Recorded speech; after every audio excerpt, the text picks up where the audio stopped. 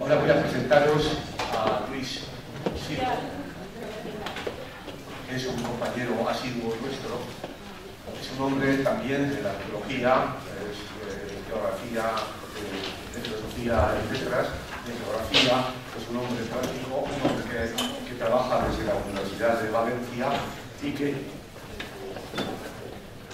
desde la Real Academia de Cultura Valenciana y que ha estado siempre amablemente a nuestra disposición para cuando ha hecho falta. Eh, y yo creo que no sé, no tengo una idea del tiempo que tenemos disponible. Luis, ¿cuánto necesitarás? Voy a ser lo más La idea, la idea que tenemos es hacer la, la, la ponencia, está en Herreras, eh, se traducirá en euskera, y pensamos eh, tener un, luego un, periodito, un periodo de, de preguntas breve a ser posible, porque a última hora haremos la mesa redonda en la que se tratarán cosas de la mañana y cosas de la tarde. Así que te dejo el micrófono y a disfrutar conmigo. Gracias. Bien, eh, voy a ser lo más breve posible debido a las temas de tiempo, y, pero tengo que, tengo que mi agradecimiento a la Asociación Euskara de Vitoria por dos motivos. En primer lugar, por importante evento científico y, en segundo lugar, por eh, darme la oportunidad de estar otra vez en esta, en esta tierra de, de Euskal Herria, entrañable por, por su tierra y por sus gentes, que ha conservado como un tesoro una lengua ancestral hablada en gran parte de la Europa meridional, al menos eh, en la antigüedad. Bien, la ponencia se titula Las inscripciones de Iruña Velella y la estabilidad de la lengua vasca. Este es un tema eh, fundamental, esencial, el que prácticamente ha movido los, los inicios de la controversia y tenemos que hacernos una pregunta, ¿por qué los, las inscripciones de, de Velella pueden, eh, son inteligibles al, al espalduna actual o si esto, si, si esto es un hecho científicamente eh, que puede ser demostrado o si es una mera ilusión. Bien, pues eh, mi ponencia trata de que hay antecedentes y pruebas que demuestran que esto es no ya posible, sino real. Eh, hablaré sobre el ibérico, sobre el aquitano, sobre las inscripciones Iruña Verella y finalmente unas conclusiones. En primer lugar, hay que decir que las inscripciones de Iruña Velella demostrando la estabilidad de la lengua vasca a lo largo de los 2000 últimos años han dado ya sus frutos en la investigación sobre el ibérico, dado que ya no es posible comparar el ibérico con el vasco en base a raíces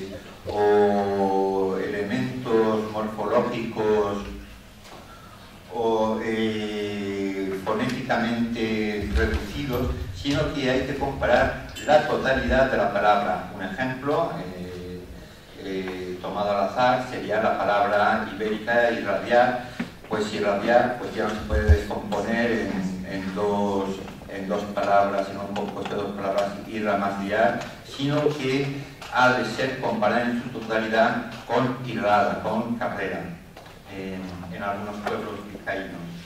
Eh, por supuesto quedan autorizadas muchas otras aproximaciones que se hicieron en el pasado o que se han hecho ahora, como Argi, Ibérico Argi Euskera Argi, Usta, Cosecha, Biur, eh, Adín, Biscar, etc.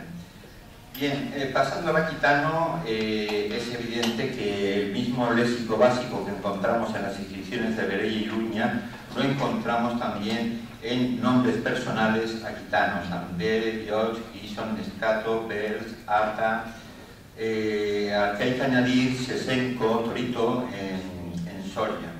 Bien, entrando ya en el problema del léxico de Iruña Velella. En primer lugar, el paradigma pronominal del posesivo, eh, neu, neure, geure, seure, eh, está testiguado ya en una inscripción aquitana, neure, neuresem, neuresem, mi, infante, mi, niño, mi niña, en primer lugar, el paradigma pronominal del posesivo, eh, neu, neure, geure, seure, eh, está atestiguado ya en una inscripción aquitana, neure, neuresen, neuresen, mi, mi infante, mi, mi, niño, mi niña. Eh, después están los nombres de parentesco, que son en todas las lenguas muy resistentes al cambio. Aquí en, en Iruña tenemos no solamente los tracón de los nombres de parentesco, sino, que además los tenemos con un fenómeno fonético muy curioso, que es la féresis. La féresis es la caída de la, vocal inicial, cosa que a cualquier falsificador ni se le pasaría por la mente hacer una falsificación de este tipo. Otras palabras también pertenecen al, al fundamental, poco resistente eh, muy resistente al cambio, como Lagun, Urte, Arrania, Bisi, Naya. Eh, conectores como Bana no puede sorprender, puesto que el ED, el I latino, ED, se conserva en, el ED francés. Goi o Goiri, ambas, ambas formas eh, atestiguadas ya en, ibérico, o,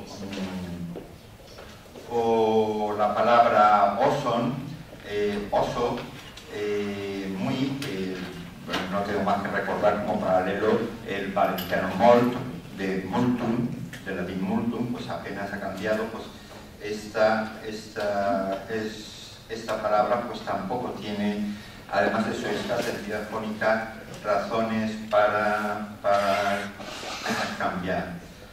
Bien, eh, un problema fundamental eh, es, la, es, la, ausencia de aspiración. Ya sabemos que Michelena consideraba una palabra vasca o no, según tuviera aspiración o no, y que en la reconstrucción del fruto vasco, el fruto vasco que se puede reconstruir para la época eh, romana, debía obligatoriamente de tener aspiración.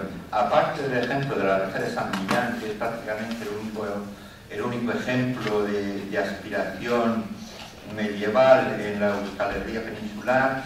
Eh, hay que contar, sin embargo, con inscripciones vasconas que presentan, que presentan aspiración. Eh, debemos entonces preguntarnos si es concebible un protovasco, o mejor, un dialecto protovasco sin aspiración. Nosotros creemos que sí. En primer lugar, desde el punto de vista teórico, hay que recordar que la concepción de una protolengua que contiene en sí todos, todos los elementos de su posterior diferenciación, es decir, una, una lengua eh, como el castellano, que se ramifica en leonés, andaluz, eh, manchego, murciano, eh, eso no es, no, es, un hecho real, el castellano no nace formado en Cantabria y se va expandiendo. Eh, a lo largo de la historia del castellano se suceden innumerables cambios eh, que van conformando la lengua hasta llegar a un nivel estandarizado. Lo mismo se puede decir del latín, no existía un latín popular uniforme en todo el imperio, el latín popular de, Rumanía era distinto del de, la Galia o, del de sur de Italia. Bien, por tanto, esta teoría de, una, de protolengua unificada eh, está en gran descrédito. Existieron otros dialectos eh, vascos en antigüedad, creo que esto está demostrado. En primer lugar, desde los estudios de Joan Corominas eh, en los años 60 sobre toponimia del Pirineo catalán, se ha demostrado que existía, que se hablaba vasco hasta el Pirineo catalán, en una fecha tan tardía como el siglo XI después de Cristo. Tenemos que, recordar las inscripciones sorianas. Antes hemos mencionado Sesenco, Torito, en, la provincia de Soria. Y curiosamente, curiosamente, todo se decía en ibérico sosin y en aquitano soson. Sin embargo, el euskera actual no ha adoptado ni la palabra ibérica ni la palabra aquitana, que se supone ser el fundamento monolítico del euskera actual, sino la forma soriana, más, más en relación con lo que sale en Beleya. Eh, hay también que recordar los jinetes eh, que aparecen en la inscripción del bronce de Ascoli del año 86 antes de Cristo, en que se reconoce como vascones a los habitantes de Gea de los Caballeros. Ninguno de ellos lleva aspiración en su nombre. Además, el ibérico carecía de aspiración, dadas pues tanto la, demostrada existencia de dialectos vascones eh, que desbordan ampliamente el marco histórico de la lengua, como las relaciones de afinidad entre eh, vasco e ibérico, creo que la concepción de un dialecto eh, vasco de hace dos mil años sin aspiración es perfectamente posible. Bien, todas las lenguas cambian, esto es una evidencia. El euskera ha cambiado desde hace dos mil años, se han producido, eh, bueno, en primer lugar hay que contar con la estabilidad del vocalismo ya señalada por Michelena y perfectamente observable en los préstamos latinos. Hay unos, unos, cuantos cambios, pocos relativamente, eh, en el consonantismo, bien conocidos. Eh, eh, pero se conserva eh, núcleo duro de la lengua, el vocabulario básico, con estos, con estos pocos, pocos cambios fonéticos que afectan a cierto número de palabras. Por tanto, eh, hay que reconocer en la lengua vasca un alto grado de estabilidad, algunas causas que han podido contribuir a ello se deberán a su aislamiento, tanto geográfico como administrativo, sin un centro que difunde innovaciones, pues Toledo, eh, el habla castellana es el habla de Toledo, eh, el habla latín es el habla de Roma, ¿no? Eh, el País Vasco históricamente no ha tenido un centro desde el que difundir innovaciones eh, el mismo nivel social en que ha sido empleado, es decir, un pueblo agricultor y ganadero. Finalmente, el fraccionamiento en multitud de dialectos y variedades en que se conservan palabras de un pueblo a otro pueblo, se pueden conservar palabras que hay que considerar como relictos de una, de una extensión anterior mucho más mucho más eh, grande. De modo determinante, a nuestro parecer, es la misma simplicidad del sistema fonológico que deja poco margen a la innovación.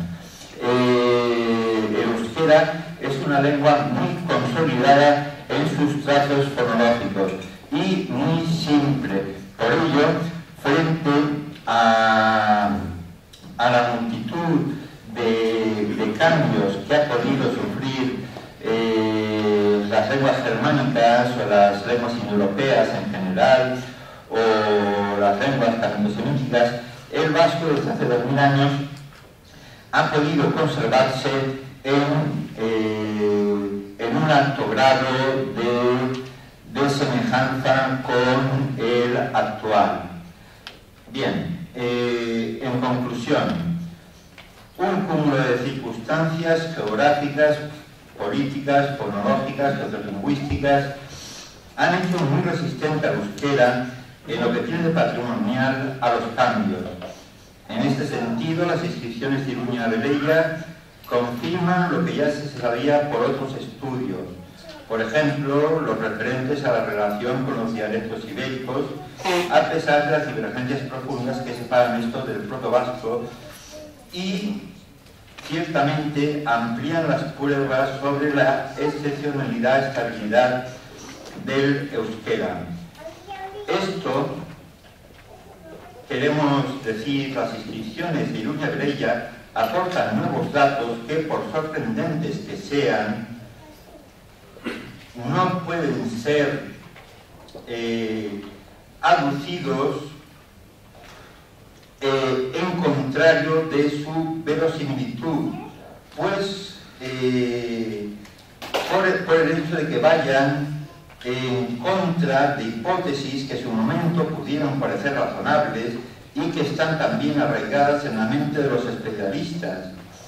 Como el mismo Michelena comentó en más de una ocasión, el testimonio documental es lo que prevalece sobre las hipótesis mejor fundamentadas.